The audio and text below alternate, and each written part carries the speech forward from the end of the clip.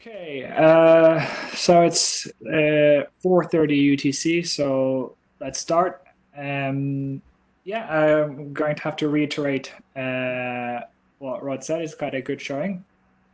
And uh, yeah, so let's get started. Uh, first things first, uh, the session is being recorded, FYI. Uh, if you have not, uh, please. Uh, somebody's asking me to disable the bleeps. Does anybody know how I do that? I have absolutely no idea. I didn't know that was possible. If it if it's possible, that would actually be useful. But as far as I'm aware, it's not. Yeah, This is the first time I use WebEx, so I have no idea how to do that. You can only disable them when you set up the option somewhere. Yeah, exactly. Yeah, and once the meeting started, you can't change the settings. A shame. Well, that's a lesson for next time. Um, it won't, it won't be happening for longer. Um, Okay, um, Wojtek, why don't you and I introduce ourselves just so people make sure that we're they, know who is who. Um, I'm Brian Leader from from uh, Keio University, and I'm one of the co-chairs. That's me. I'm going to mostly keep my camera off to to save on bandwidth and whatnot, but uh, that's me. Say hi, right? Uh, and Wojtek is our new uh, co-chair and he's actually going to be doing most of the running of the meeting. Wojtek? Uh, hi, everybody. Yeah, thanks for that. Uh, I'm Wojtek. I'm a, currently a postdoc at uh, QuTech, and I have uh, taken over from Stephanie as co-chair to help Rod with running uh, stuff. Uh, and yeah, I'll just do the boring running of the meeting, uh, and I'll be keeping the timer uh, on things. Will probably might have to take over in the second half of the meeting when I will be presenting. Uh, yeah. Okay. Thanks for that. So, start with uh, session is being recorded. Uh, please switch off your video to save bandwidth. Uh, mute your microphone unless you're speaking. And a convention during these WebEx meetings is to, uh, if you want to ask a question after a talk, write plus Q in the chat uh, and minus Q if you want to remove yourself. And one the chair that's currently running the meeting should be monitoring the chat to do that. The Jabber is on, uh, and I have one request to everybody: Uh, Is somebody willing to take the minutes for this meeting?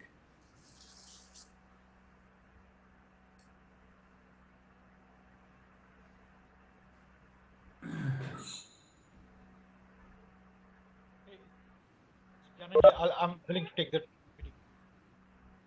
Okay, thanks. Uh, can you take the so to take the minutes? You can take them either on your own, uh, on your own editor, or you can use the Etherpad. There's a space for minutes there, if you want to make them live. Uh, okay, and just uh, send them to, if you don't do them in the Etherpad, send them to us, to me and Rod after the meeting, or to the mailing list. Cool. That's in terms of the uh, practicalities. Uh, there's the IETF's Note Well. Uh, it's the usual. I don't think there's anything to dwell on here, unless somebody wants to mention something specific about the Notewell.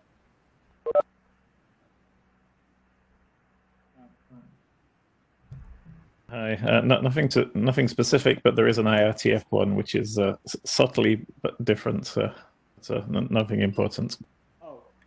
Good to know. I just copied the one that I found on the advice for uh, working groups. Uh, so I will know for next time. Uh, now, okay, so let's start with the meeting. Uh, the agenda for today is packed, so let's try to stick to uh, the times. Uh, and I'll try to closely monitor that. We will first start with some administrativia and a brief RG status update. There will be then a slot to talk about simulators, as there's been quite a lot of attention about that on the mailing list lately, with two releases and one coming out soon. Uh, and there's a talk by volunteered by Nathan Aw about quantum internet and its implications on the existing internet applications. And then we'll have half an hour slot to talk about the two current drafts in the working group. Uh, so first update is I mean, we don't, there's only a small update, which is that we are now a full IRTF uh, research group, updated from a proposed research group. Uh, can everybody who's on mute themselves, please, if they're not talking? Uh, uh, so we have been uh, upgraded to a full research group. Uh, thanks to Rod and Stephanie uh, for getting this running. Uh, basically, for each research group for a year functions as a proposed research group to see uh, how they function. And we've been reviewed and we've been upgraded to a full research group. and as a brief summary of the history of what's going on and what's kind of going to happen in the future is the idea originated in 2018. Uh, Rod presented uh, the IRTF Open in March 2018. Approved as proposed research group in November 2018, and now we are a full research group. Originally, there was a tentative proposal to meet once at the IRTF slash IETF meeting, once at a quantum conference, and once virtually. Uh, so I guess we're achieving that once virtually for the first time, though we did have some interims before for to work on a draft. Uh, me and Rod will reevaluate that uh, over the coming few weeks uh, and might consult the mailing list as to uh, how best to actually meet as a research group. Uh, so far, we've been kind of doing the IETF meetings quite well. That's all there is for an update from me. Rod, do you have anything to add before we move on to presentations? Only the administrative bit of there are now 56 people in the uh, the WebEx conference, and only 28 people have actually signed in on the virtual blue sheet. For those of you who came in uh, a couple of minutes late, on uh, Wojtek's very first slide, the chair's very first slide, there's a link to the Etherpad. Um, please sign in there and put put your name in the in the uh, in the blue sheet so that we have uh, a list of people who are attendees. That's it.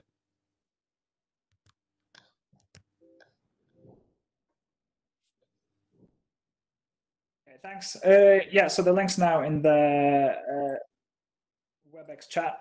Uh, and apparently, if you're behind a restricted firewall, you can remove the 9009 port number.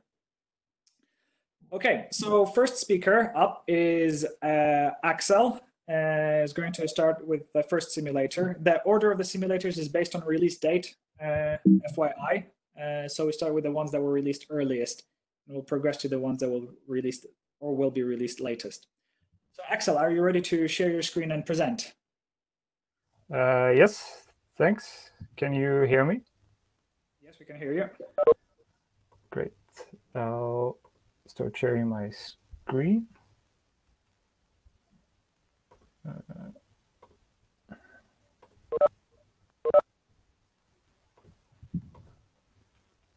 all right, can you see my screen? Yeah, I can. I can see your screen. Um, oh. Okay. Is this uh, so? Can you see uh, the slides and hear me well? Uh, yes, I can. Okay. Great. All right. Uh, thanks a lot, uh, Ronnie and Wojtek, for for organizing this. I think it's really great, and I think it's a really nice opportunity to to see the different uh, simulators that we have uh, around the world and and uh, and have the chance to present these.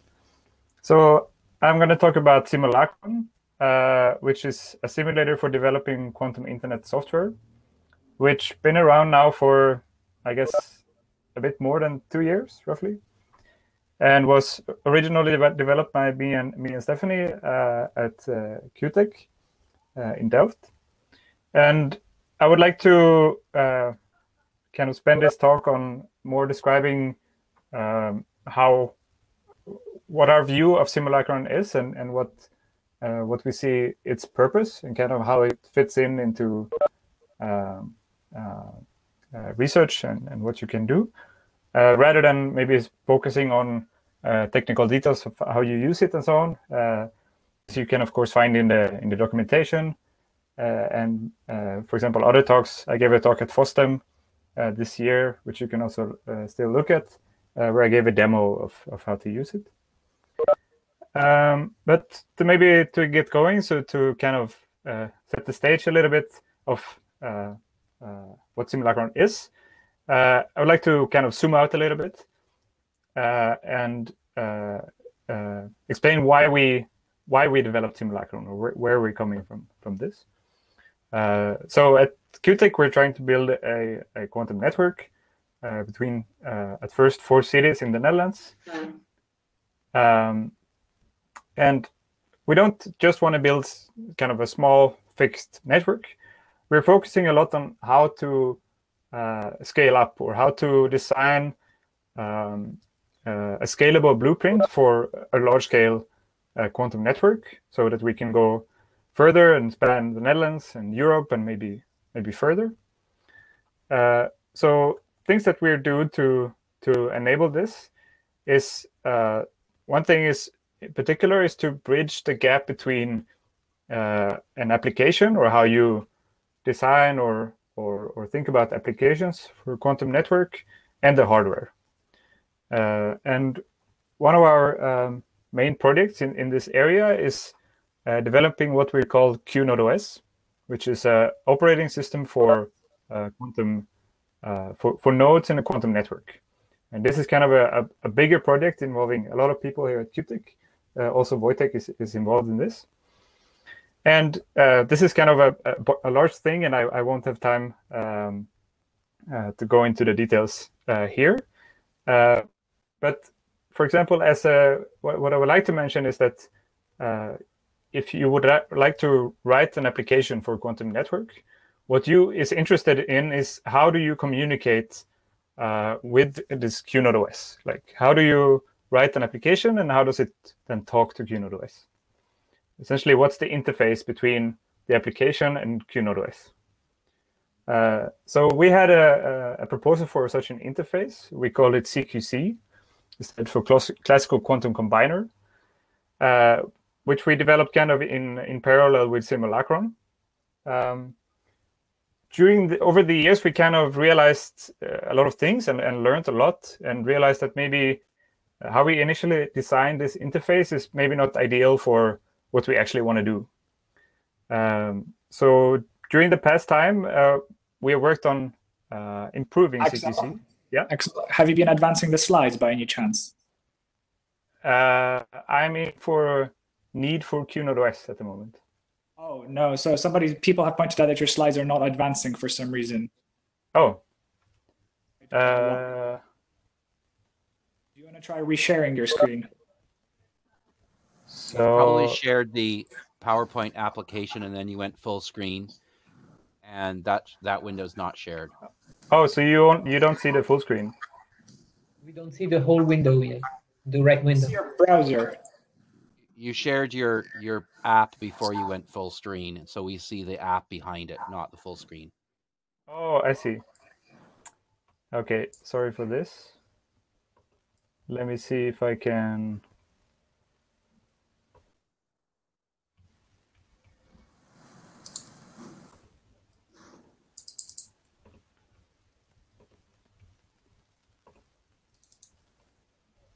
So do you now see a slide in full screen? Yes, we do. That says need for QNode OS? Yeah. When you advance the slide, can you let us know so that we can check if it's actually advancing?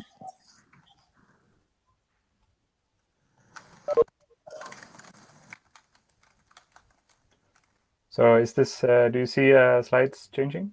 Yeah, seems to work. Okay, okay.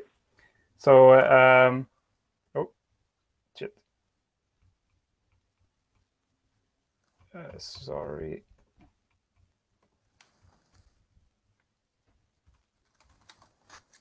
Uh, my bad.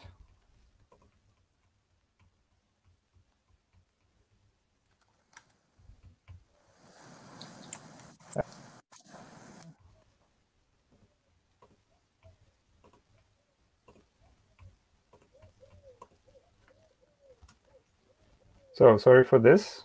Um, okay, let me try to. Uh, I can show you briefly the slides that I I intended to show. Here's kind of upscaling to a quantum network. We want to bridge the gap gap between applications and hardware. Um, and we had this need for an interface between applications and QNode OS. And let me maybe double check uh, if this is working now.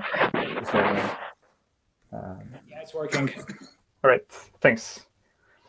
Uh, so, uh, yeah, as I said, we realized that maybe CQC is not exactly what we want. So we worked on a, a new version of this and took some inspiration from uh, QASM, which is a quantum assembly language, or there are multiple flavors of it, mostly used for quantum computers. And we kind of designed or started designing something uh, using ideas from this for, for, for networks. And now there's some fancy uh, uh, animations where this new uh, interface, which we call NetQASM, uh, comes in and kicks out CQC. So NetQASM is a essentially a quantum assembly language for for networks. Um, and again, um, so the idea is that NetQASM is essentially the way how you would interface uh, if you write your own application to the actual network that we're building and and also uh, later expanding in the future. Um, and uh, NetQASM is uh, uh, something that we're working on at the moment, and I, I, won't have time to go into the details of this, but it's essentially a low-level instruction set architecture for quantum internet applications. Um, and this is something that will hopefully, uh, in the near-term future, we'll uh, can say more about this and kind of uh, announce exactly what it is. Um, but this is something that we're working on at the moment. And uh, so this is kind of the uh, the end of the introduction of uh, where SimulaQron fits in. So when we had this CQC interface and we talk about how we how an application connects to the quantum hardware, it's kind of at the moment we don't have such quantum hardware, but you might already now want to write an application. so this is exactly where SimulaQron comes in. Uh, where we had uh, essentially a library, uh, for example, in Python, where you can easily write an application that communicates with SimulaQron over this CQC interface. but as I mentioned, we're now kind of changing this to this new NetQASM interface. And in CQC, we also had multiple libraries in, in different languages. for example, we had in Rust, which Wojtek made. We had in C, Java. There was someone also working in Go, which is not, I think, fully finished. But you could write your application in any of these languages, uh, and it would communicate with, with SimulaQron.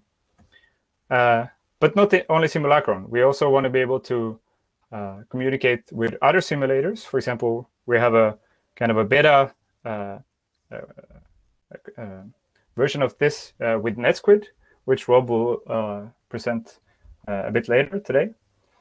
But of course, also in the future that you will be able to use these applications you write today to run on, on, on real hardware. And maybe I can do a time check. So how much time do I have left, actually? You got like one and a half minutes left. Okay. So then I'll uh, speed up a little bit. So uh, one thing that's I think is really cool about SimulaQron is that it's actually a distributed simulation. So you can install it on different computers.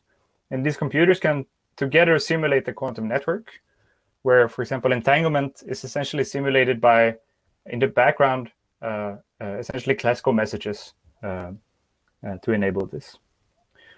Um, and maybe just to finish, and then maybe it is time for maybe one question. I just want to say that uh, if you want to get started, it's very easy. You just pip install SimulaQron, and then you can start it uh, where you have essentially a daemon running uh, uh, on your computer, which you can communicate to using CQC that simulates essentially quantum hardware. Uh, and if you want to know more, you can go to our website where you can find the documentation uh, and try it out for yourself. so that's it for me, and I'm happy to take any questions now or later after the meeting. Thanks, Axel. We I don't really have time for questions. I'm going to be quite strict on time because we've got a packed schedule. If you have questions about SimulaQron, Axel is on the mailing list, uh, so questions can go to the mailing list. Uh, okay, thanks for that, Axel. Uh, next for up is Stephen.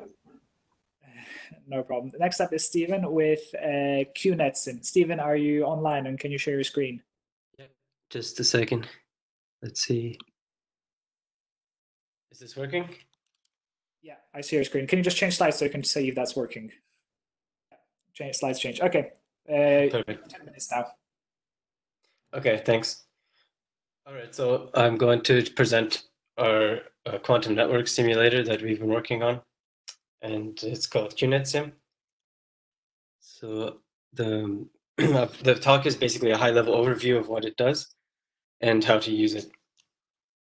Um, so what is it? Is it's uh, also a Python framework, and we use it for developing simulations of quantum networks that have classical and quantum connections. So how it would work is uh, you have hosts in the network, and the hosts are sending messages between each other. Go up to this quantum network cloud, and things are happening in the quantum network such that uh, you know Alice can write uh, perform some kind of protocol, and Bob receives it, and it gets routed through a quantum network where the hosts are kind of oblivious of how this information is moving around to some extent, and then yeah, so a summary of kind of its features is it simulates the network and application layer of a quantum network. So therefore, it's also looking into the routing algorithms and stuff like this. Um, it simulates so a multi-node communication network where there where each node processes classical and quantum quantum information. So this means that the hosts can transmit classical messages, they can transmit quantum information, they can so transport like EPR pairs and all these quantum objects as well. So uh, QuNetSim is composed of three components, and these are the the host and the network, similar to an OSI layer style, the first uh, three layers or so, or I guess the top three layers. And um, the way this works is the, the so the, the way these components work is that a host is acting like a node in a network so they perform kind of applications and things like this. And they can also process and store information. So they have some memory which can be addressed, and this kind of allows them to hold on to information if they need it, and then protocols can be designed such that one knows that the information that they previously sent is stored at the other side. Um, yeah, so the host can act as two uh, types of hosts, where one can be an end node or a relaying node.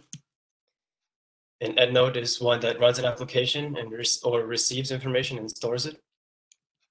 And a relaying node is a node in the network that just takes the, the packets that come to it and relays them further in the network. And they can also be programmed to perform attacks on these packets. Um, they can run, uh, each host can run a custom protocol. So you can write a Python function and then assign it to a host, and then the host runs this function asynchronously, or it can also run it synchronously. And here's kind of a small, I don't know, small picture of what a host looks like in my mind. It has a two processors, one for classical, one for quantum, and it has two storage devices, one for classical, one for quantum. So some of the built-in protocols that come with these hosts are um, basically quantum teleportation, super dense coding, EPR, generation, GHZ generation, key distribution. What this means is that we have a host object in QuNetSim, and one and the methods of the host are, for example, I can create a qubit, and then I can say host dot teleport qubit to receiver, and these kind of tasks are all built into the host object so that we can recycle them and build more complex protocols on top of these. And it and also the synchronization and things like this are all handled by QuNetSim, so that kind of these complex software tasks don't need to be handled by the user and they're handled in the backend. Another thing is that they have these addressable quantum memories so that uh, they can synchronize themselves when they're performing maybe a multi-step protocol. Uh, we have this transport layer.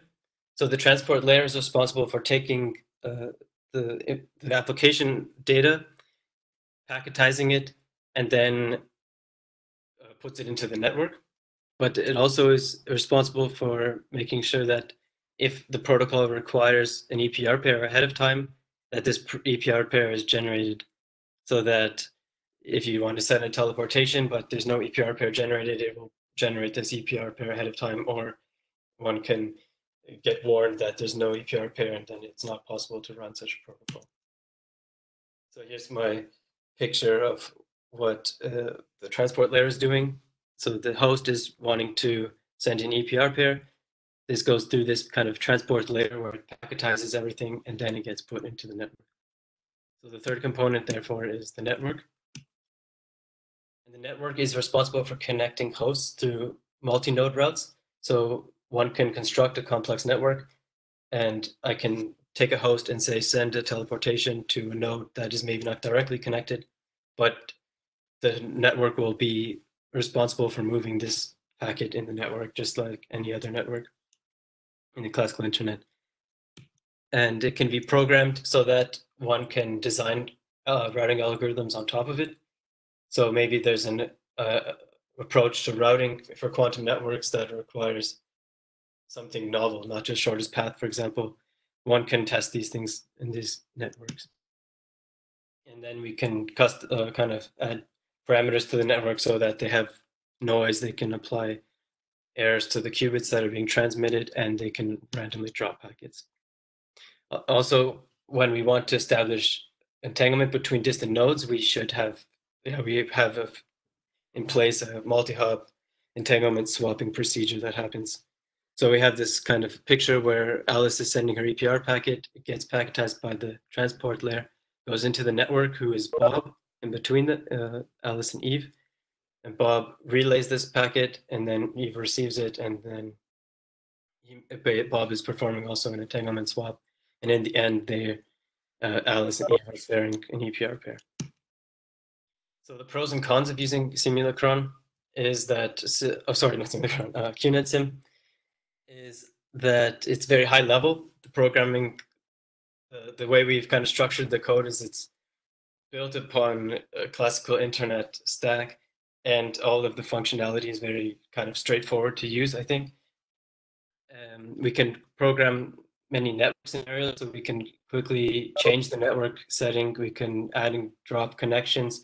We can, you know, put noise in the network. We could take noise out. We can have memory. Uh, we can have all kinds of configurations for this network, and we can use it to test routing algorithms. That's an interesting feature, I think. And there's lots of logging messages so that if I'm wanting to write a protocol and I'm not working, I can see step by step what's happening in the network. And since we have this layered structure, we can kind of see what's happening so we can more easily debug. Now, the cons of using it is that the channel models are relatively simplistic. These error models are kind of just X, uh, X error, Z error, and maybe not enough noise to represent a physical system. Um, when we are increasing the scale of the network, things tend to get a bit slow. And it also is assuming that the quantum internet is based on a packet style where there's this transport layer in between and things like this, where maybe this is not something that will happen right away. So the people I think should use QuNetSim are beginners who are just learning about quantum networking because this high level simulation framework uh, structure and stuff like this, it's easy to kind of go from a classical setting to a quantum setting. And therefore, instructors can also use this to teach because it's very analogous to, to some to classical networks. And researchers can use it in a way that they will test their developed applications for robustness, robustness and correctness as a first stage. So maybe they can't benchmark if their protocol works under all kinds of scenarios with some kind of rates, but they can test that at least it works in some kind of basic scenarios as a first stage. So just, if I have time, show a quick example of how it works. We would define some protocol, and this particular protocol, the sender is just sending five EPR pairs to a receiver. So I write this function, protocol one, takes a host and it takes a receiver. Then I run a loop five times. I send uh, an EPR pair on line 12. What happens is the because I set this flag here to await ACK true, this line of code will block until an ACK is received by the by the person sending it, and then we can perform operations depending if the ACK arrived or not. And then we have our qubits who have an ID, and we can kind of perform operations on this qubit by fetching it out of the memory.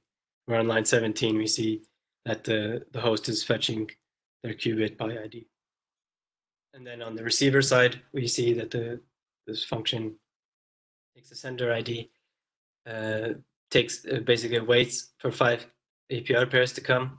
So we see for this loop here, and we set this flag here, wait for five, and this means that the host is sitting idle waiting for the EPRs to arrive. And then just performs a simple measurement to determine if the EPR was a legitimate EPR pair or not. And then what we do is we construct a network. We have this network singleton object. We define the nodes in the network. We define these the, the node IDs, and then we have these host objects. These can be uh, we can add connections to the to the hosts, and then we put all the hosts in the network, and then you see these two lines at the bottom. We can run our two protocols that we defined above. Uh, I think I'll skip the next example, but it's basically how would Can we just wrap up now, Stephen? Yeah, Uh, sure, sure. I think this is the last slide. Yeah. Uh, so uh, there, there seems to be a question on the chat, but please take it offline to the mailing list or on Jabber uh, if you're on Jabber. Um, so thanks a lot, Stephen. Uh, next is uh, Rodney presenting QUISP. Uh, so yeah, Rodney, do you want to share your screen then? Let's see if I can make that work. Hang on, pull up the right window here.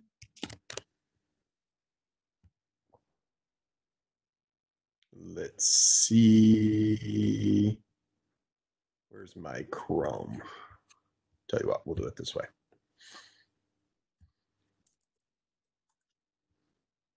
There we go. You see it? Yeah, we see it. All right. Let's see if you still see. If if you've still got me when I switch into presentation mode here. All right. Um, you got the. Got you. Yeah, and slides change. Go ahead. Ten minutes. So we have just, as you have seen on the mailing list, um, announced that QUISP is available open source. There's a link to that there. Um, QUISP is the quantum internet simulation package. Here's a s- partial screenshot of one of the larger networks that, that we're uh, in the process of simulating. Um, if any of you have worked with OmNet++, you'll recognize the uh, style of icons and whatnot. You know, Quisp actually builds on top of OmNet++, which means that, of course, all of the code is actually implemented in C++, as opposed to most of these other simulators that are written in uh, this modern language called Python. So we're designing Quisp to answer a series of research questions. And the first one is, we're looking for emergent behavior. What's the, the equivalent of quantum question, uh, the quantum equivalent of congestion collapse, for example? We're also working on protocol design. Um, the basic architecture we have laid out is what we call the rule sets that are based on a condition clause and an action clause, like uh, SDN um, match action seems to be sort of the more common terminology there's a lot of emphasis in what we're doing on the classical messaging and studying where the latencies occur in the uh, system and attempting to eliminate those. So far, that's pretty similar to what the other uh, simulators are working on, I believe. Um, but one of the things that we're working on that's rather different is that we're studying not just first generation purify and swap networks, but also second and third generation networks, and hopefully studying both logical and physical heterogeneity, including uh, also dynamic behavior such as link state changes and traffic uh, pattern changes and whatnot. So uh, very quickly, there are three generations of repeaters that have been defined. The first one, which I've already uh, alluded to, is uses um, quantum purification, which is essentially error detection and uses entanglement swapping to build the uh, end-to-end connections. Second generation uses quantum error correction instead, which means that the states that are used are actually larger. And third generation is similar to second generation. The difference between second and third is that um, in the third generation, photon reception is very high probability, and therefore you can go with a more of a store and forward kind of approach rather than the uh, the end-to-end entanglement swapping that has to be done. Um, and these were defined by Liang Jiang's group, and there's a link there if you're interested. So I listed here, I'm not going to try to go through this entire slide, but I thought it would be useful for, for people in the group to, to um, who are not as familiar with the quantum um, computing world to understand a little bit what about how the different uh, possible ways of writing down quantum states are. A lot of noise from somebody. Wojtek, is that you or is that somebody else? um, else, but I'm trying to mute these people when I hear them. all right, thanks. Uh, a lot of uh, the, the most simple, the, the first thing you learn when you're studying quantum computing is the basic state vector approach, uh, usually using what's called Dirac's ket, Dirac's ket notation. You can see the scaling of it there. We're actually working in what's called the the error basis, the last line there at the end of the uh, um, the slide, in which we're only tracking internally whether or not the state corresponds to what we're actually trying to build. So we're tracking, we have uh, in the simplest form, your bitwise flags. Has there been a bit flip on a particular qubit, for example?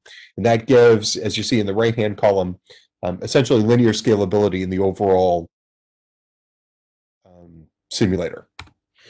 Why is that a big deal? Well, if you look at this, if you are trying to write down an entire quantum state um, and you're studying the physical processes, including error processes, what you need is the density matrix representation, which was developed by John von Neumann, which is a name probably everybody here knows. If you have two qubits in your state, the size of a density matrix is only 128 bytes, assuming double precision um, floating point numbers for, for your uh, complex amplitudes. But it grows pretty quickly to 256 kilobytes for for an for a simple representation of a single error corrected state, um, a bell pair of uh, two qubits. But if you want to even just take two of those and combine them, uh, all of a sudden you're all the way up into petabyte scale sizes for, for memory. So it's, so it's simply not feasible to simulate a, a large scale quantum state that's entangled across multiple nodes um, when you're involving quantum error correction and whatnot. So all of this led us to working in the error basis instead. So the strengths of what we've got, uh, scalability is the ultimate target. Our goal is to simulate a quantum internet, not just a network, but a network of networks consisting of 100, node, 100 networks of 100 nodes each and probably 100 qubits per node. So on the order of a million qubits. And all of this is made possible by working in the error basis. Um, as a couple, as Axel's already alluded to in, in uh, his system as well, one of the things we're very interested in is the development of software for the the repeaters and the routers themselves. And so you'll see a diagram there that shows our internal structure for, for how the, uh, the modules fit together. There is absolutely endless configurability in this, building off of um, Omnet's capabilities and it provides animations and an inspector for the state and, and um, lots and lots of logging and tremendous capabilities all built into an IDE. If you've used um, Omnet, it's actually incredibly powerful. So the weak points for, for what we're doing, this is not tuned for very low-level simulation of the physical processes, although we do have a model of both Pauli errors, which are symmetric errors, and non-Pauli errors. Um, Installation is kind of a bit of a pain, mostly because installing Omnet is a pain in a variety of places. And there's a lot of stuff that's actually in development. Although this is actually already our fourth generation simulator internally, where the uh, Thaddeus Ladd, who's here in here somewhere, built the first one, and then he and I worked on the second one, and then a student of mine worked on the third one. And now this is our fourth time around for, for a quantum network simulator.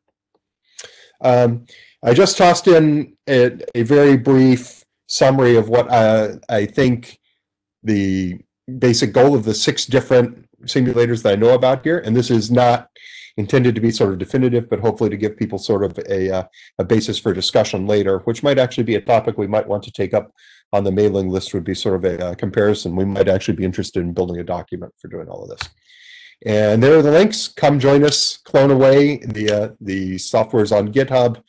Join us on the Slack if you're interested. And the best resource for learning about it is Takaaki Matsuo's master's thesis, and there's a link to that there. Um, Wojtek, that's it. Thanks. Thanks, Rod. We'll actually have time for questions. If you want to ask a question, please add plus Q to the chat, and then I'll call your name out. I'm happy for us to to uh, not take the uh, questions and go on to get us back on the uh, on the uh, time schedule so we finish up. That would be fine. We're mostly on schedule. But yeah, I, I see there are no questions. Uh, there's always the mailing list. Uh, can always uh, keep the discussion going there. So next up is Rob uh, with NetSquid. Rob, are you ready to share your slides? Uh, yes, can you hear me okay? Yeah, I can hear you. Yeah.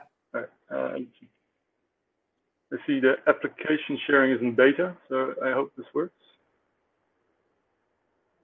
I have your slides uh, as a backup anyway, so Okay. it doesn't work.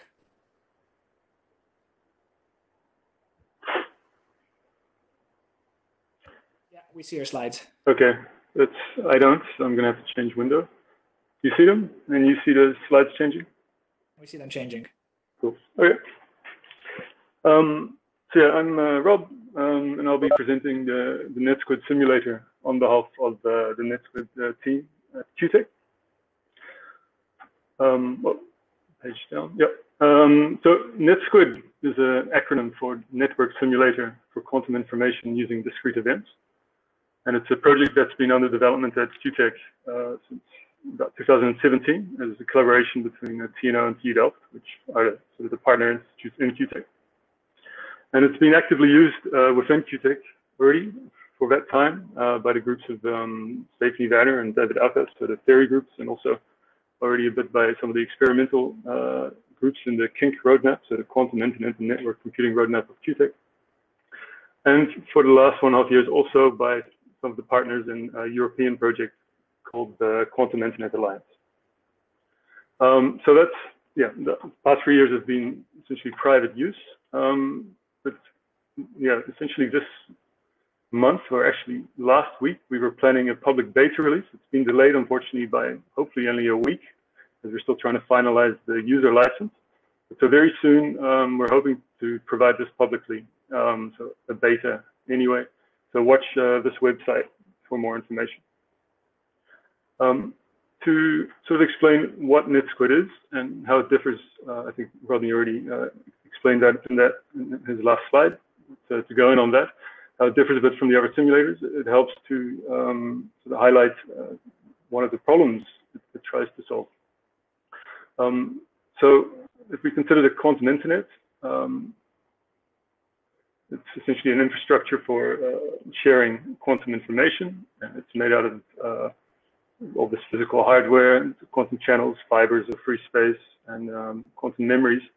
Um, and this is one way to move this quantum information. But really, the key resource in the quantum internet, you could say, is quantum entanglement, which is acting as a virtual quantum channel between um, these nodes. And this resource has two properties. It has a sort of the rate you can make it at and the fidelity or its quality.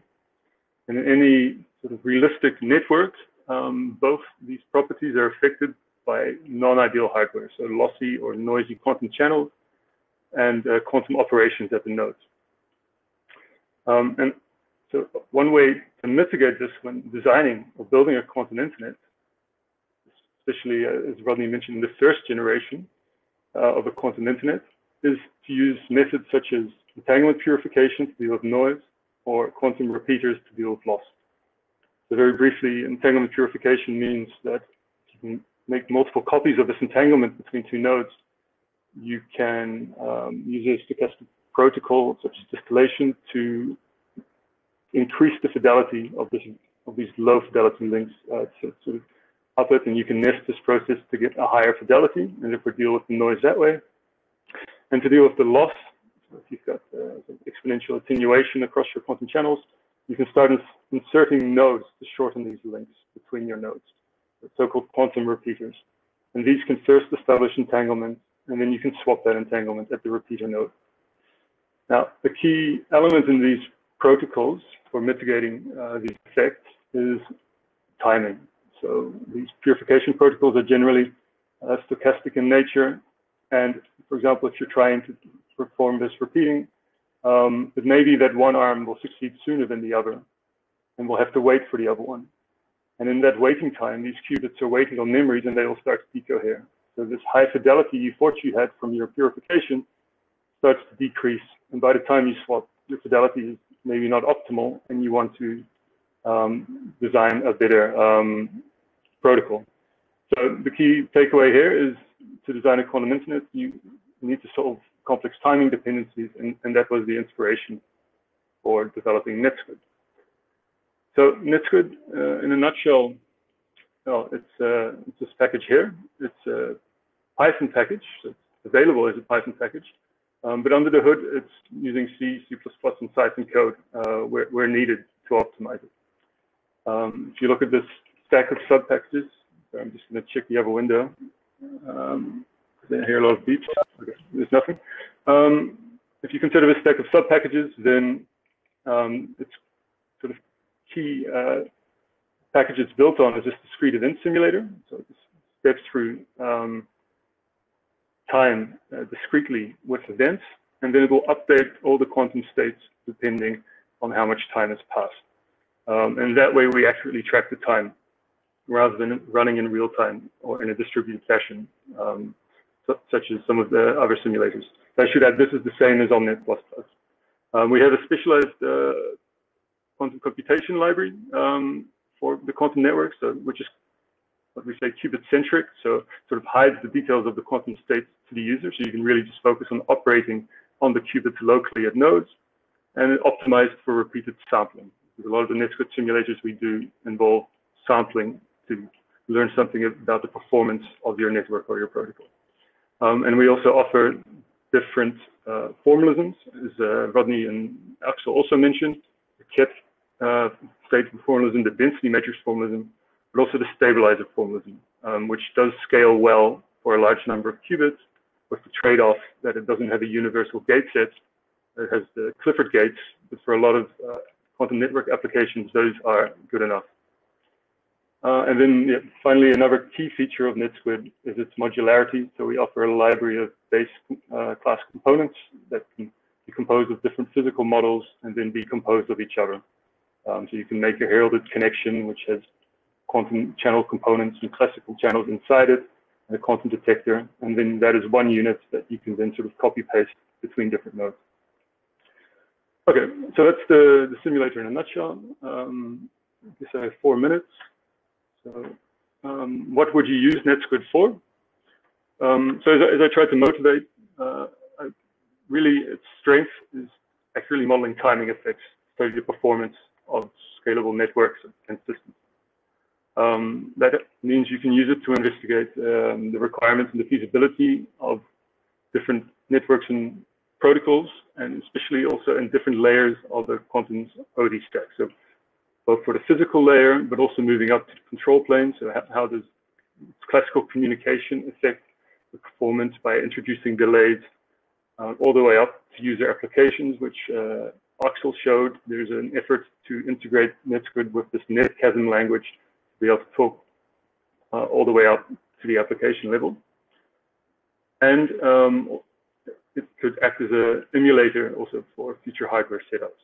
Um, also in this uh, in this vein.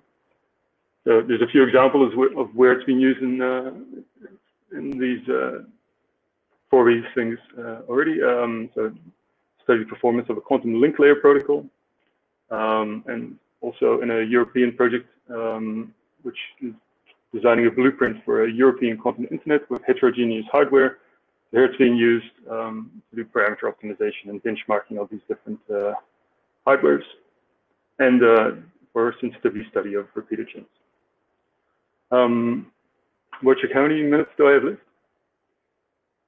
Uh, two, three. Uh, okay. You want to finish before the two, three if you want questions. Okay. Uh, it's almost done. So um, how do you get started with NetSquid?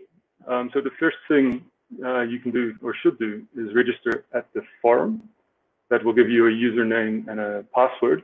And you can use that both to participate on the forum, um, but also to access the online documentation. And um, very soon, once the license is ready, to install NetSquid using the standard pip, uh, Python package installer. So here you see uh, how you can do that. Um, it's a matter of just um, adding the extra Python package index for NetSquid with your forum credentials. So I have to stress this won't work yet. Uh, hopefully this will work within a week. It's just a matter of this license being finalized. And this license is free for non-commercial use, so not, uh, not open source. Um, I should add that this has been quite a high-level description of NetSquid, but if you look at the documentation, uh, there's a lot more detail if you're interested. Um, and then finally, uh, so NetSquid is really intended as a, a, base package for people to develop their simulations on. And what we hope to stimulate is for users to contribute to NetSquid with what we, what we call NetSquid snippets. So Python packages that are created and maintained and shared by users. And here we really encourage that people share this open source. Um, and um, we already have a number of these packages available on our um, on our package server. So this also does dependency management. If we put if we host these snippets on the server, you can say I want to install this snippet, and it should pull in any other snippets that snippet depends on. Examples of snippets we already have available, uh, modeling snippets such as general components for a physical layer, specific modeling for NV-center devices and atomic ensembles, to uh, things like quantum memory manager or quantum program manager for um, components higher up in the stack. Um, and to get started with the snippets, um, there's a template repository that will generate um, a snippet template for you. Um, and there's more information available at the website. And that's that's it. Time for questions? Thanks, Rob. Uh, sadly, we don't have time for questions. Uh, as always, questions can go to the mailing list or to the Jabber room. Uh, we'll move on to the next talk. Thanks a lot, Rob. Yep. Uh, Nathan is next. All right, uh, let me share my screen. Share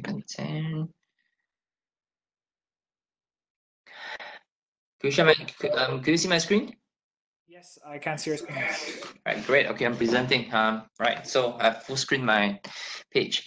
Okay, hi everyone. Um, just you know, um, this is Nathan. Would like would like to share with you some of this um some of the applications for you know uh, quantum information network and some of the promising use cases that you know um from a practitioner you know I, I think that that that that and the profound implications that we might have this might have on the existing internet applications okay so um you know, um, one of the things that, that that that struck me was the similarity between you know lasers and info- and quantum information network, right?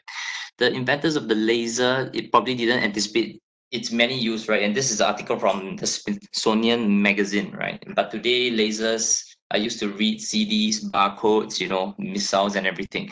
So what is really exciting for me personally is, you know, this can be this this uh, we, we can see parallels being drawn right to um, what we are discussing uh, in this uh, this forum, and you know what we are discussing today, the use cases, the applications might look very different from what we will see next time, right? You know, the unknown unknowns, right? Okay, so yeah, just go on slide. Okay, this is just an introduction of myself. So some of these um promising use cases that I have just top of mind, it might be a pie in the sky, but I believe that um, um scale out quantum computers will be one of the realities. You know, right now many people we just talk about we, we are looking at scale up, you know, quantum computers, and if you see the whole internet revolution and how computing has reach where we are right now in the classical sense, right? You know, we have distributed clusters of servers, and I believe that you know now with quantum computers, we might be you know um, going back to the big mainframe systems, but in the future we might see scale up quantum computers, you know, um, leveraging you know um, fundamentally distributed algorithms, right? Again, uh, quantum algorithms are being worked on, and and I believe that you know distributed algorithms, you know, will be um, distributed quantum algorithms will be something that will be a reality sometime, right? And you know, to perform many many tasks, perhaps intelligent network routing. And one of the things that you know, um, again um, might seem like pie in the sky right now um, similar uh, similar to serverless computing you know what what what what we see today microservices and all perhaps one day we will see you know a data center less you know um, um, environment right where you know you have multiple quantum computers in the world you know driving all the workloads right again pie in the sky but I, I believe that this is something that that might happen, right? It will drive the cost of classical computing to negligible amount due to you know sheer computing power. And of course, you know we need to hook up these quantum computers together, right? And finally, um, perhaps uh, zero latency networks, right? This is something that um, we often take for granted. Like for example, um, between the cloud servers that I have currently, you know, I see um, some latency, you know, um, 25 millisecond, you know, from the east coast to the west coast of the US, right? But uh, again, perhaps, you know, in, in, in the near future, we could see zero latency networks, right, being enabled. Okay. All right, so I, I want to talk about the profound implications on um, existing internet applications.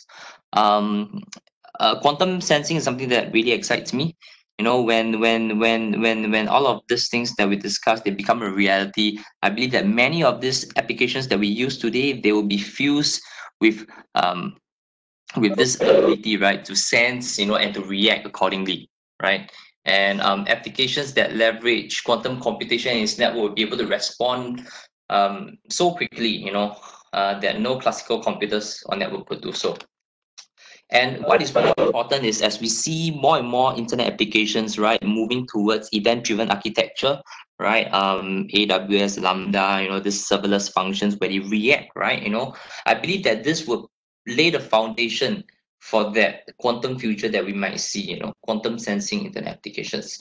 So um, this is um, one of the implications that we have, right? So um, some parting thoughts um, that I have, right? Um, we, we cannot solve this problems with the same thinking that we use, right? So I thought that this is really a new frontier where we start on a new canvas, right? Without the constraints and limitations of classical computers and, and all the networking stack, you know, OSI reference model in mind. And of course, you know, in the process of trying to um, come up with the future, you know, we improvise, improvise, improvise, and and and and from now to the future that we see, I believe that the outcome and all these use cases that we discussed, right, would be very different, and and some of this will even be unexpected, right? Um, so um, yeah, you know, in in in the industry that I'm working in, the financial services sector, right, quantum computing and its applications we believe will have profound effect on some fundamentals, you know, underlying data usage and protection, right, and risk modeling, right, and specifically with quantum sensing, you know, we could record and measure, you know, some of these fluctuations in both time and space, and this could be further incorporated into risk modeling, right, and assessment. So you know very exciting if, if, if in, in in that future where we have you know applications are able to incorporate these streams of you know data that's flowing in right? You know that'll be really really exciting so many things that i might share now you know um might seem like a pie in the sky but you know again this wish list is something that i believe you know will become a reality in all our lifetimes right? So that's for me. Thank you very much. I hope i claim i reclaim the time. Okay. Yeah. Thanks nathan. Uh, we actually have time for questions so if somebody has a question can you please put plus q into the chat and i'll call your name out? Two minutes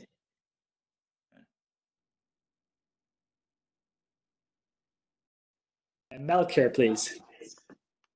Yeah, hi. So uh, I'm just realizing now that I've here to help uh, define the control plane versus data plane part. And my apologies for not um, doing that earlier. And I hereby promise that I will send uh, this week or at latest next week.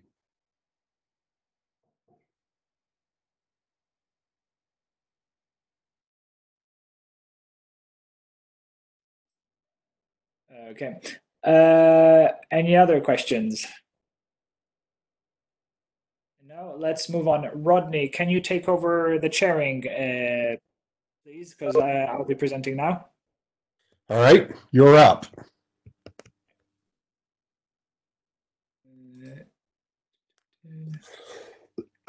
Excuse me. How long do we set up for this part? I don't have the agenda right on my screen here. 15 minutes for this draft and then 15 minutes for the next one. Right. Shared the wrong one. We're actually running uh, pretty much right on time, so so you've got the full 15 minutes. Oh, why is it sharing the wrong one? Give me a second. Feel free to share all of your internal secrets via, via the uh, screen sharing.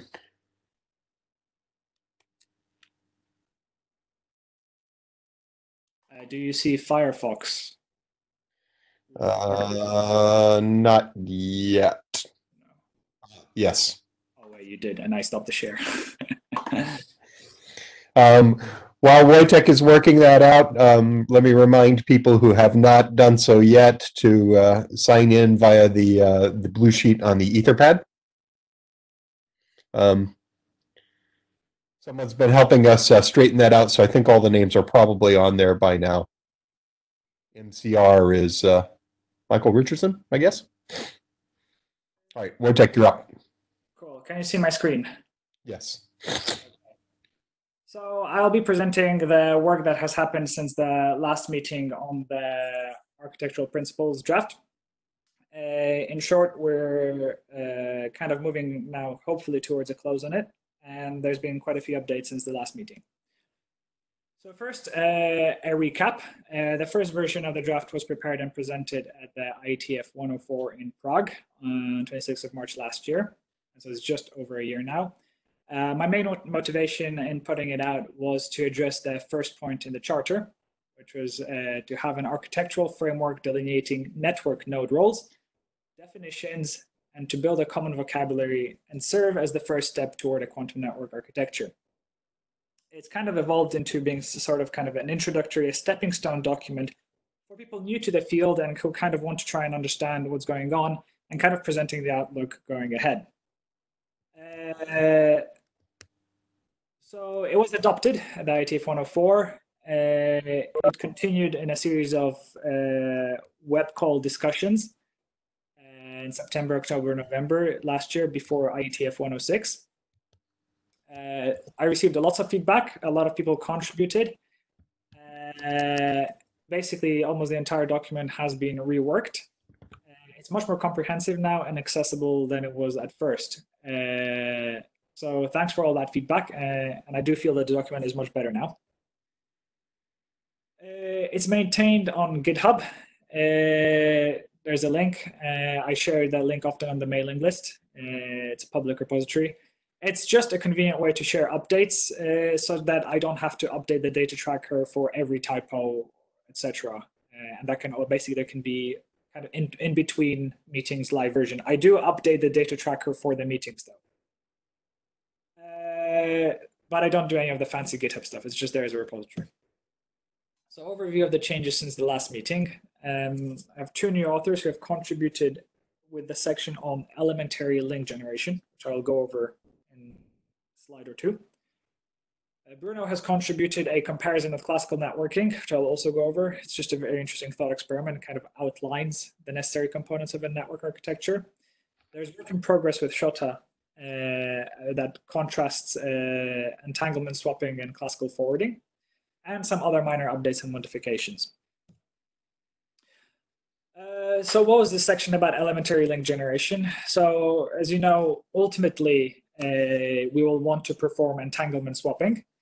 Uh, but we, to perform entanglement swapping, we need to have entangled pairs on the individual links first. So we refer to these often as elementary links. Uh, and this is actually a very physical process. Uh, it involves uh, sending flying qubits, which are usually implemented as photons on a fiber. And the additional section kind of goes over briefly as to how you would achieve that. And there are actually a few ways you can do it. The key point in all of this is that it helps you understand how a node receives an entangled pair, because I think that actually was a question once asked on the web calls.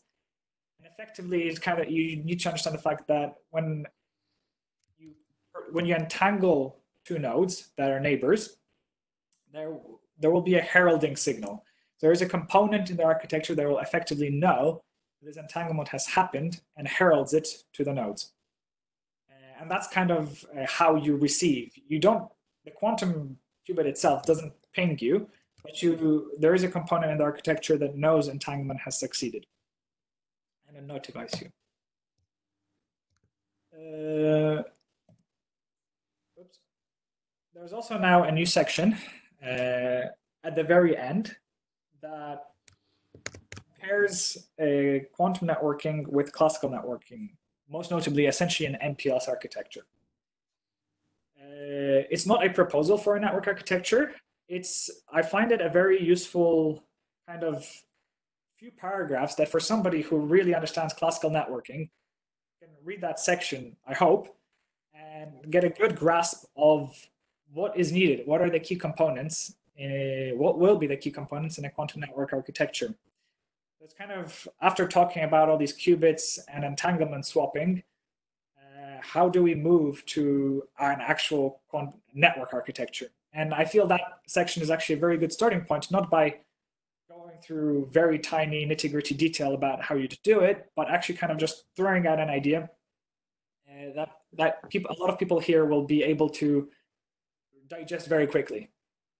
Uh, and the benefit is it identifies a lot of key components of a potential network architecture in a very short amount of space. And currently, Shota has submitted a pull request on GitHub, and uh, I've only just reviewed it recently. Uh, it was I was meant to leave it for after this meeting, but because of coronavirus, etc., I did review it before, but it's not made to the document. Uh, the point that Shota was trying to make is that the entanglement swapping way of distributing uh, the, the, way we'll be build this first generation of entanglement based networks is that we won't be forwarding quantum packets like we forward normal classical packets. Entanglement swapping is in many ways different to forwarding, so we should actually probably just drop this forwarding. Rodney mentioned that once we get to the third generation where we can do error correction and error detection, we can uh, actually implement forwarding. Um, but that's not the way we'll be doing it for the first generation of networks. Uh, I hear some keyboard, uh, and the keyboard person please mute. Uh, as, as, an example, uh, these entangled pairs are not directed. This is the kind of one of the points uh, made. So it's currently work in progress. It's on GitHub and not present in the draft version. And uh, I'll be reviewing that and we'll be seeing how that evolves. All discussion happens through the mailing list anyway. So if you're on the mailing list, all the links to the GitHub should be present. Uh, so you can also, uh, whenever there's an update on GitHub, there will be some ping on the mailing list that there's an update. So looking forward, what are the next steps? Well, first, I kind of wanted to have a and there was some feedback. I wanted to have more coverage of security, but I'm not an expert on this, and I've had no updates from anybody on this. Uh, so I was thinking that perhaps it's a complex topic that is not really suitable for an introductory document. Uh, and one potential option is to leave it as it is for now, because there is some coverage, very, very basic coverage of the security uh, considerations. Um, add some references, and if needed, create a new document in the future that will be devoted to security. That's up for discussion. If people do want uh, security in this document, then uh, I will need some contributions in this section. Otherwise, uh, I will leave it as it is. And looking forward, the key next step is to rework section six, uh, which is about the, essentially the goals and principles. This is kind of an open-ended section of the draft. It's kind of looking outward. What are the goals of a quantum network? How do we want to build them and uh, what principles? Uh, I've made a little update. I basically deleted everything I felt was more of my opinion, uh, backed by science, but nevertheless, I, I left things that were basically definites. Uh, they're up upgraded to their own section, and I was going to have a side meeting in Vancouver to discuss, to have some community input. Uh, in the absence of that uh, in-person meeting, what I will do is either wait for all the virtual interims to replace IETF 107 to finish, then have a virtual meeting uh, or I'll just continue the discussion on the mailing list. Uh, I would I'd prefer it to be a meeting uh, where people can talk, uh, simply because it's just faster, uh, and the mailing list may supplement that. Other modifications I will need to add is add references. There was a bit of discussion about what's the right amount of references for the document. um, and the consensus seems to be more than currently there uh, I've put in, uh, but not. Let's not go overboard. Uh, and after all that, I will also plan a final editorial rundown. Rodney sent an email with a bunch of feedback at the beginning of March, and I'll use that as a starting point to do this final editorial rundown. Uh, I would like to finish this draft by the next or after next IETF, in the sense not be actively working and hopefully submitted as an RFC. Uh, we'll see how that goes. Uh, so that's about it for me, and I'll open the floor to questions. Okay, any questions? Anybody, uh, you can put plus Q into the, uh, yes, Ma- Matthias. Go ahead.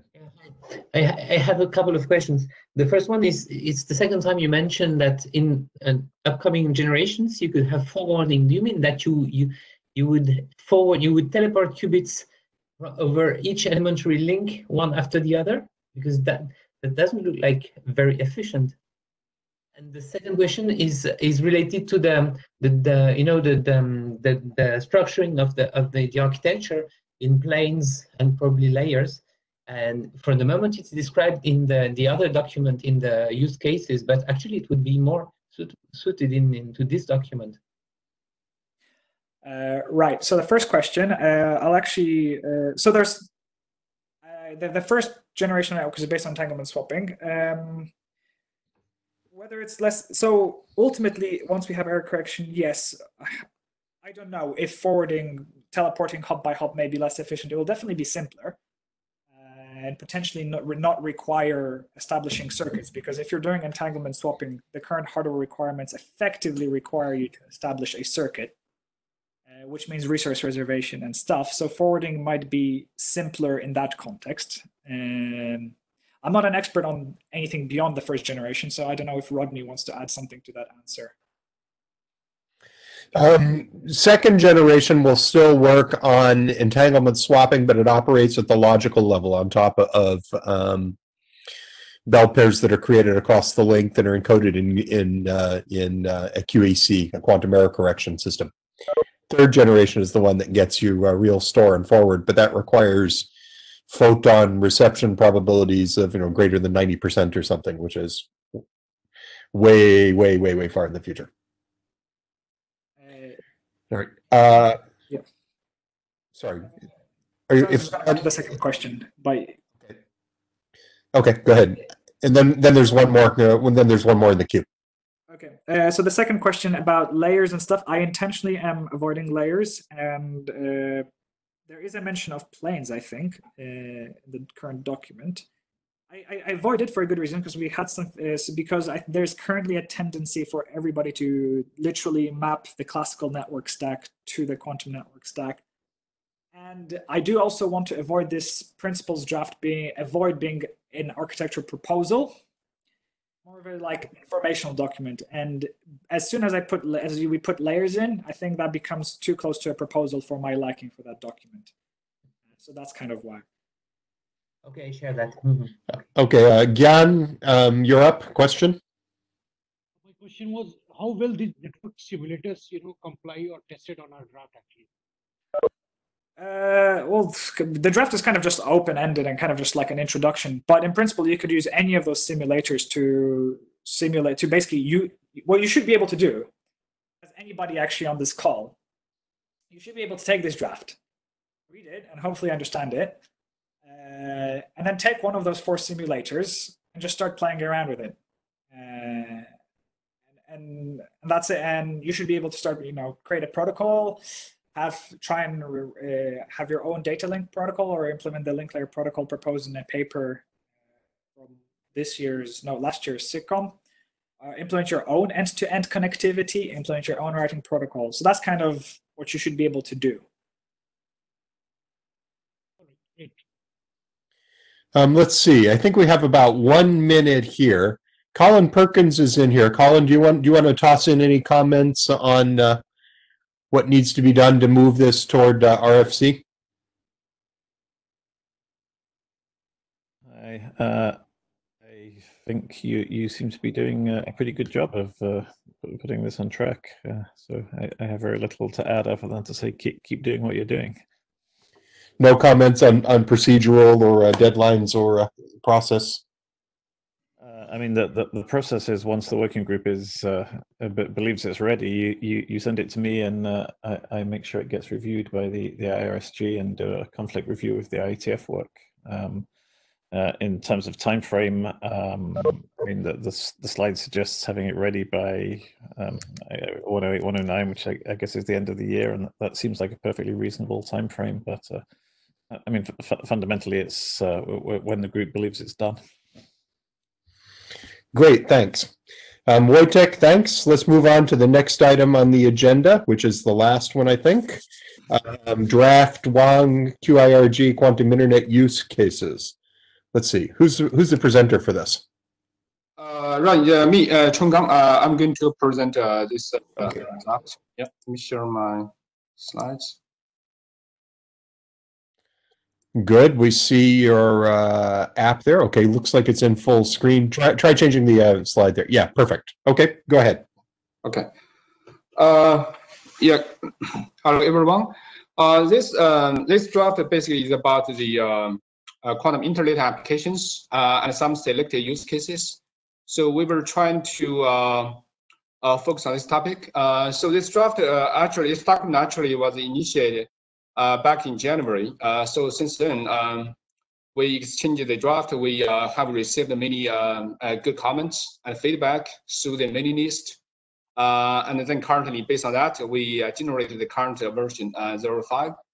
Um, we received many uh, valuable inputs uh, from lots of people, at least here.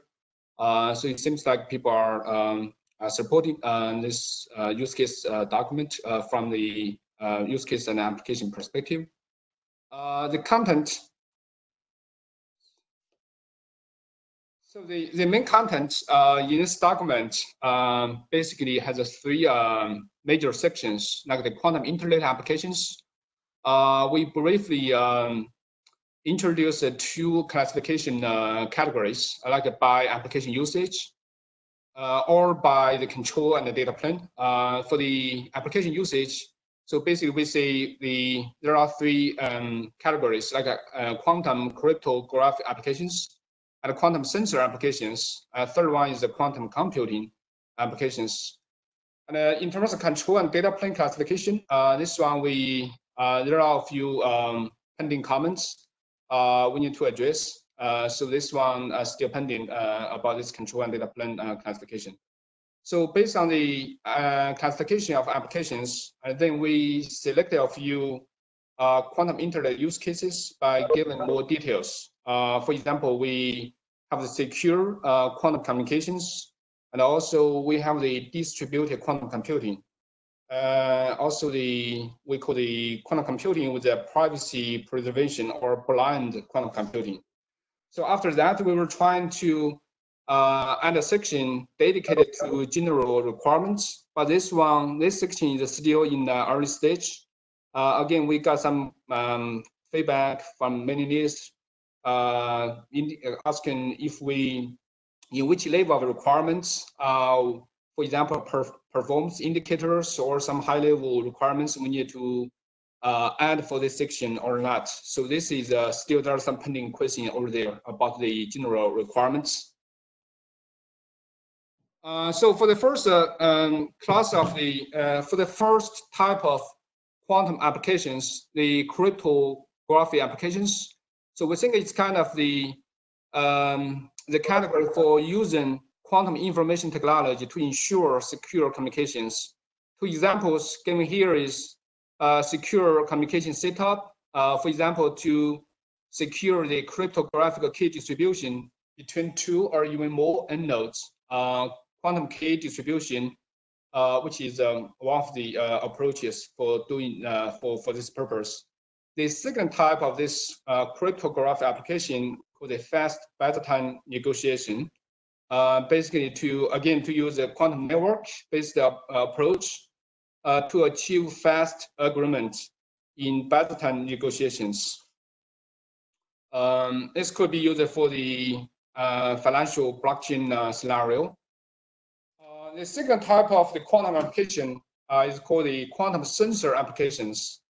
Uh, means to use the quantum information technology for supporting distributed sensors or even IoT devices. Example will be like the network clock synchronization. Um, it's not about the two nodes to synchronize their clocks. Uh, it's more about the a, a network, um, a worldwide set of uh, atomic clocks collected by the quantum internet to achieve a ultra, a more precise um, clock synchronization. So the third one is uh, about the quantum computing. So actually, the first type is communication. Second type is more like a sensor uh, clock synchronization. The third type here slide six, uh, on slide six, is more the quantum computing, basically to use the quantum information technology for supporting remote quantum computing facilities. Uh, for example, here we we uh, we got two uh, um, examples. The first one is the distributed quantum computing, um, and the second one is the secure quantum computing with the privacy preservation and then we're going to give a little bit more details about those two types uh, in the following slides. So given those three uh, types of quantum applications, in terms of um, you know the the real use case, uh, we were trying to come up with those three uh, use cases in following slides. The first use case here, uh, we call the secure communication setup. Um, basically, for example, like two banks, they need to have secure communications for transmitting their important financial transaction records uh, between the, you know, the, the bank number one and the bank number two. We assume each bank uh, has a corresponding quantum nodes A and B. Uh, so for this purpose, they need to, their requirement is need to securely exchange a classical cryptographic key um, which could be triggered by either back, uh, back number two or back number one. So figure one shown here, we just uh, show it will be triggered by end user um, in back number one. So this use case basically need to need need to have a secure communication setup. Uh, and then in the document, we describe some procedures uh, using quantum key distribution QKD uh, as example uh, to show it can can be used to serve this uh, use case, secure communications uh, setup.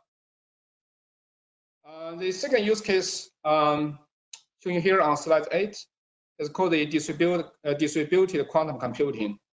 So trying to say um, either in the near term or even mid term, we're going to have the noisy intermediate scale quantum uh, computers called an NISQ.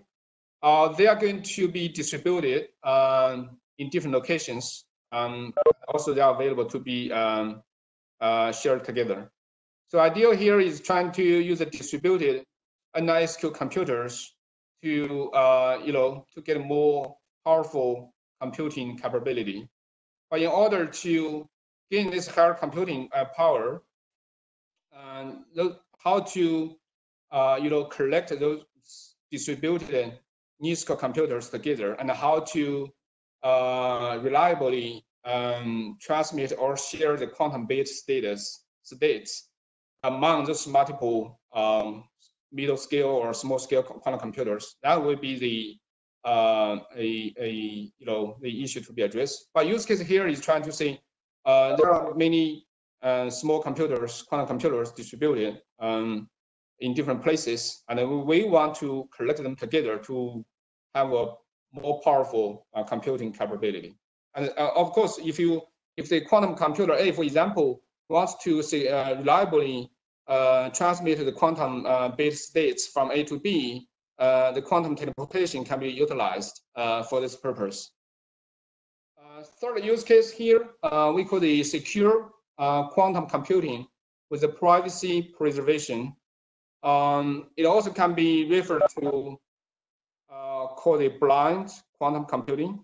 So here, the use case here basically like the, we have the quantum terminal nodes. If you look at figure three, uh, for example, a home gateway, uh, and then they want to delegate uh, some computing uh, to a remote quantum node, which could be a quantum computer in the cloud.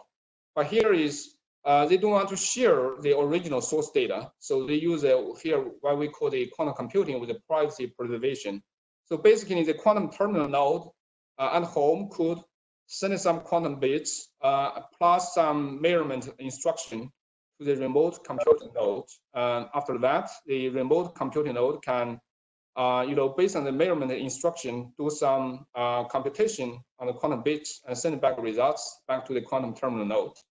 Uh, so this case just shows the uh, usage of the quantum information technology for, uh, you know, for the um, computation delegation with the privacy uh, preservation. So those are three uh, use cases selected. and then we were trying to have a section about the general requirements. Um, currently, we have three high-level requirements the first one is a method for facilitating quantum applications to interact efficiently with the entanglement qubits are necessary. Actually, this requirement, I guess, uh, by hearing to several uh, um, simulator presentation, um, uh, one of the, I, I forgot the name, uh, I, I, think this is also uh, reflected in the current uh, simulators, kind of API between the applications and the low layer quantum layers. The second requirement is more like the quantum repeaters and routers should support robust and efficient entanglement distribution. And then we have a third requirement here is more like we, we need to, uh, you know, even the quantum nodes, they need to um, support the classical communications um, to, you know, even for the uh, QKD and the quantum teleportation, the classical uh, communications are required. It's kind of straightforward. Uh, but based on the feedback from many list, uh, we add a to-do note uh, in the document. Um, some performance indicators uh, need to be defined and described, um, but in which level uh, of those performance metrics we, we would like to cover in this document. Um, it's a question um, for all of us. so in terms of next step, um, as I mentioned earlier, we have a few pending comments related to the control plane and data plane uh, from Melchior and uh, Matthias. Uh, so we're going to address this um, um, control plane and data plane uh, class application classification. Uh, we would like to also continue to um, collect feedback from the QIRG, from mailing uh, and trying to improve the, the version 05. Um, we also got two questions for the QIRG. Uh, the first question about the performance matrix uh, in, in terms of in general requirements. Uh, I just uh, briefly talk about that. The second question is, uh, uh, since we um, have received lots of interest feedback from the, the QIRG, so we were wondering and if um, this idea is ready for research group adoption or sometime later, or just trying to get feedback from the uh, QIRG. Uh, that concludes my presentation. Um, I'm open for any questions. Thanks. Questions? We still have about two minutes here. Yes, question from Matthias. Yes, yes. The idea was just to, to answer the, the first question of of uh, of Chung, which is how much detail.